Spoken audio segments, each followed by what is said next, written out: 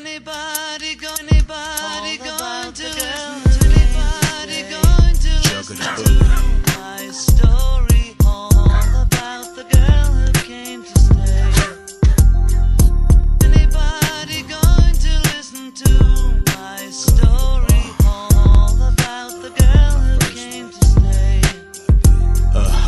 tripping when I first met her with my older siblings, though my folks must not have known that she was visiting. My sister snuck in, assistant, she stayed in the bedroom. Her perfume was exotic, but it made my head swoon. They said I'm too young to date her, to save the best for later. They were haters, but I was on some I don't like goods yet behavior. Short was always around, but I usually wouldn't see her. Then when my sisters had to leave for college, I couldn't reach her.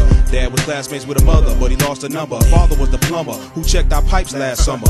Folks say they've been in the hood ever since we moved in, that they got a garden somewhere, but that's never been proven. To do anything with her, that she was trouble.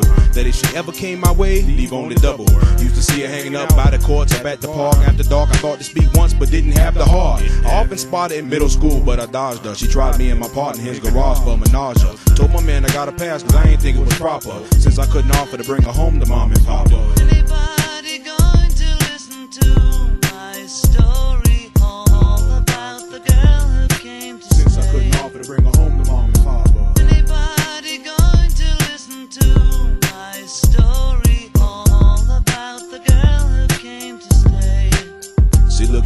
older I got, the more attractive the broad became. Lots of kids kicked it with her after football games, but that wasn't my crowd. Plus, I knew she bad news. Most of her friends had weird hairdos and tattoos. At that time, most were white, plus they slept in class. Some didn't pass and never answered questions asked. Teachers didn't like that crew, they were practically clowns, but she was known to chill with staff too in the faculty lounge. Now, I stayed away and didn't say a lot to her, but she was so popular, even geese were jocking her. By senior year, everyone seemed to know her, but I was more concerned with receiving my diploma. Her sweet aroma followed me the rest of the semester. I wanted the bone her, but I couldn't bring myself to test her. When it was time to go off to school, I'd hope I left her, but she came down with peer pressure, knew most my professors. Now that lust to undress her had escalated stronger. At a frat party one night, I couldn't wait any longer. My dog introduced me, and finally the chick seduced me. To this day, I hit the booty, spend all day with the cutie.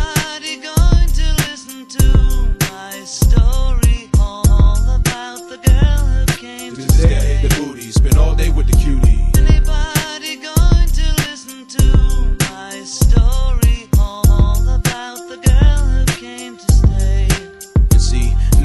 always around, and of course she swears she's down. In ATL she wears green, in New York she wears brown. On the West Coast, niggas wanna spend cheddar on her on every corner, cause those colors look better on her. Sometimes it's hard to find her, cause she in high demand. Shorty's a real good cut, get me stuck like Spider Man. I can't take her nowhere, cause everybody wanna get her. And when she's smelling good, everybody wanna hit her. Lately, a lot of sisters say they wanna get with her. And believe it's a real freaky scene when a chick licks her. She not a gold digger, but I heard she rolls thicker if you richer. But a day won't go by, I don't kiss her, I twist her every night before I fall asleep. But she's a free spirit, always running out, she's hard to keep. When I do carry her with me, I move cautiously. Cause if old folks see me hit her, they do call the police. She been in trouble with the law, and though she got good intentions, she gets niggas put in prison. Her name I couldn't mention. We broke up a few times, but I always come back. That's why I've been with her since the first contact.